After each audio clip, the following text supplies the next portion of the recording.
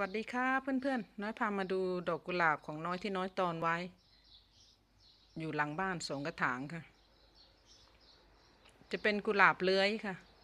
แต่น้อยตัดเอาเอากระถางนี้ตัดเป็นทรงพุ่ม เป็นเขามีดอกสีชมพู กลิ่นหอมมากเลยค่ะ เดี๋ยวน้อยพาไปดูอีกกระถางหนึ่งที่น้อยปล่อยให้เขาไปเลื้อยให้สูงสูงขึ้นไป ประมาณเม็ดครึ่งค่ะ เริ่มออกดอกให้น้อยแล้วเดี๋ยวน้อยใส่ปุ๋ย ก็สูงประมาณเม็ดครึ่ง น้อยไม่อยากให้เขาสูงขึ้นไปอีก เพราะว่าเดี๋ยวเขาไป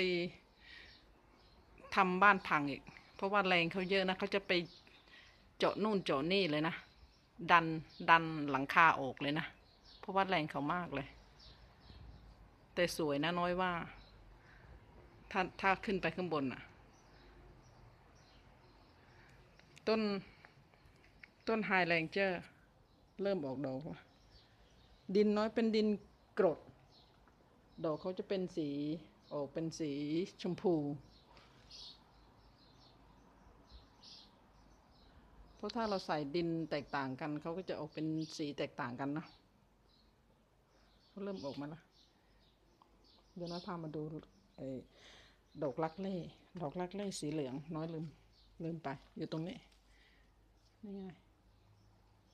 ก็สวยใช้ได้นะ ขอบคุณมากครับเพื่อนๆ